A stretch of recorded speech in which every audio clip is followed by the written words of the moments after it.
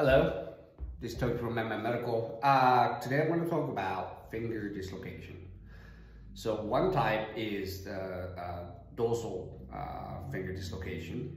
So this is the finger dislocation simulator, okay?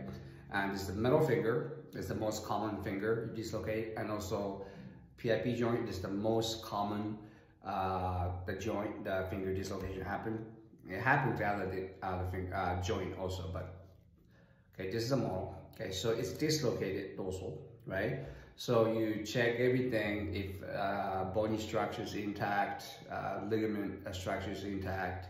So you decide to reduce. Uh, your reduction technique wise, I will push the end and use this hand to pull and a little extension. If I do that, clunk, and it's in. So if it's dorsal, and you can walk on the range of motion and you know we can return to play uh, buddy tape okay